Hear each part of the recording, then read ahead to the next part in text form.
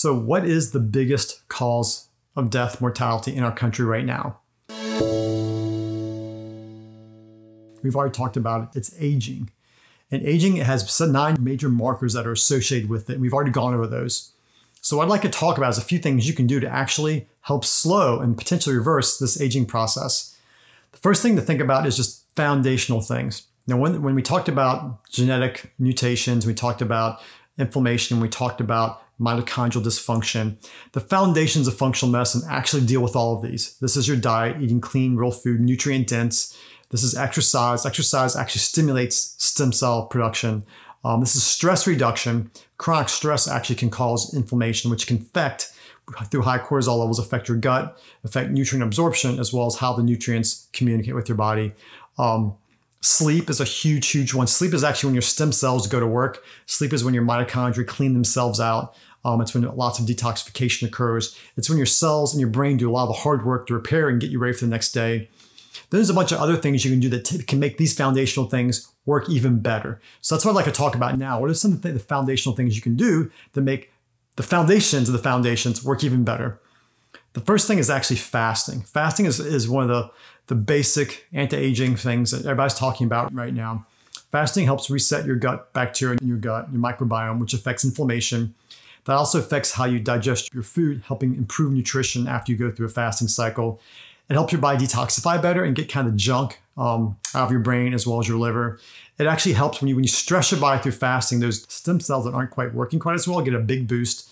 And then the dysfunctional mitochondria and the cells that are stuck, that senescence, actually gets replicated. So that's one of the reasons why you're hearing so much now about interval fasting, fasting mimicking diets, you know, all these kind of things. That's the reason keto was a big deal for a while. It's not as much now because we realized that's not as amazing as people thought it was. But just basic fasting is what all these things are based on. There's also certain nutrients doing testing to figure out what your body actually needs more of. There are certain organic acid tests you can do that look at your urine and they actually measure what your body needs more of. You might have a blood level of B12 or folic acid or a blood level of vitamin C that looks normal.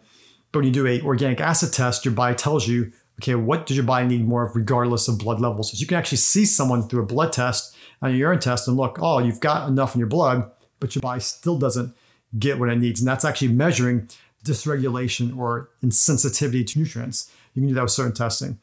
There's also things called peptides you've all heard about. Well, many people have heard about these are actually things that help your body turn over senescent cells. Peptides are actually made by stem cells, which are your body's pr- primary um, cell of replication. And the peptides can actually help stem cells work a little better, as well as the cells that are stuck, those senescent cells, help them turn over quicker.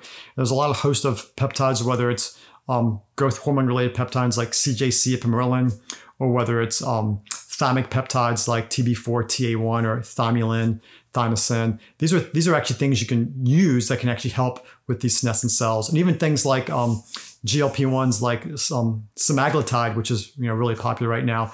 One of the ways that peptide works is actually through this inflammatory process. It actually helps as well with stem cells, and it's actually known as an anti-aging medication.